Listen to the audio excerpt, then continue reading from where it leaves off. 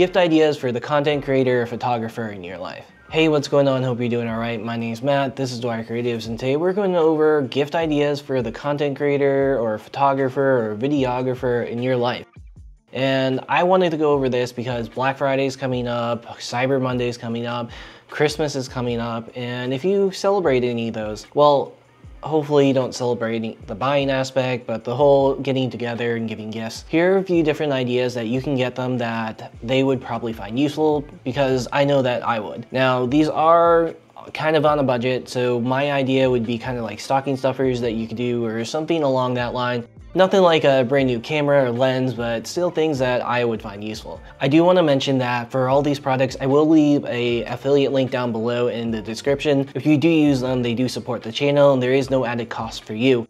I do really appreciate when y'all use that. Two things on top of that. Recently, I did pick up a new collaboration. I'm to be working with Western Rise. Now, if you don't know them, they're a clothing company that kind of aim towards higher quality for travel, everyday, just that minimalistic, you can only bring what you really need to, and that will definitely take you that far. If you're interested in that, I do have a link down below, and if you use the code Taco Panda at checkout, you get 15% off your first order. So Taco Panda is just my TikTok that I've been experimenting with. So that's how that ended up there. The second part of that, right? I did mention that I do have affiliate links, but you don't have to use mine. You can use another creators. I want you to support the people that you really want to support too. So if you do buy from these bigger box stores or online websites, Make sure to use the affiliate links because they do support these channels. I know for myself and other small creators that every dime that we get from that goes straight back into the channel so that we can bring you more content. So again, if you do use mine, I appreciate it, but if you don't want to use mine and someone else's, as long as you're there supporting your favorite creator, I'm happy with that. Now that we did go on a little tangent, let's go ahead and put two minutes on that clock for Two Minute Tuesday. My first idea for your content creator, your photographer, or videographer in your life is gonna be a super simple one. It's gonna be a nice little notebook and a pen to go along with it. For me, this is just a notebook that my wife had that I ended up using. And then I've been lately really like using Lamy pens. Little things while you're out trying to create content. Hey, I need to remember this for this part or I have an idea for that. It helps to be able to write it down. And I know a lot of us can just throw that in notes on our phone, but there's just something nostalgic about using a pen and paper. The next item is going to be something they may have already and they may not, but for me, I really enjoy these systems. And that's gonna be uh, Peak Designs camera strap or their camera leash. Now the reason that I really like these specific products are because of these. These are the Peak Design anchors. These will clip onto your camera or whatever device you're trying to carry. I stick these on my camera bag, my cameras, so that I can easily switch between them. And I have these on pretty much all my cameras so that I have one camera strap and I can just go from camera to camera to camera depending on what I want to carry that day. Peak Design, check out their systems. Now the next item can be kind of split up a little bit. It's going to be a case or memory card reader for their memory cards. Now, I like this one specifically. It's made by PGY It is a memory card case. Will hold up to four SD cards, four micro SD cards, two SIM cards, has a SIM card tool remover, but also has a card reader in it. It's USB-C, it's 3.1.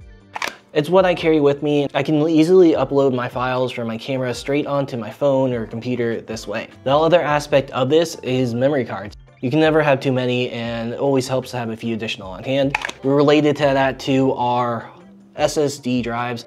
Now these will be a little bit more expensive. They're gonna be just over 100 plus, so maybe if you want to do a little bit of extra effort, one is none, two is one, you can always use another hard drive. Now, the last item that I want to talk about is going to be this. This is simply a little pouch, and inside here I have a bunch of little basic tools. Now this actually is my everyday carry. In here I have a screwdriver, a wrench, I also have a pair of pliers and then a few Allen keys that I use for different items like my small rig arm or my suction cup or whatever I need I have the tool for that. This is just something that a lot of people overlook and maybe it's not a camera lens or filter or a camera, but it is something that I use fairly often when I'm trying to rig up a camera or just tighten something down a little bit having the right tool will definitely make the difference and a lot easier and then have a lot less stress. And then of course there's a ton of different ways to do it. A lot of different pouches, a lot of different tools. There you go. That's a few recommendations I have for you if you're looking for gift ideas for the photographer, content creator, videographer in your life. If you have any questions about any of these items or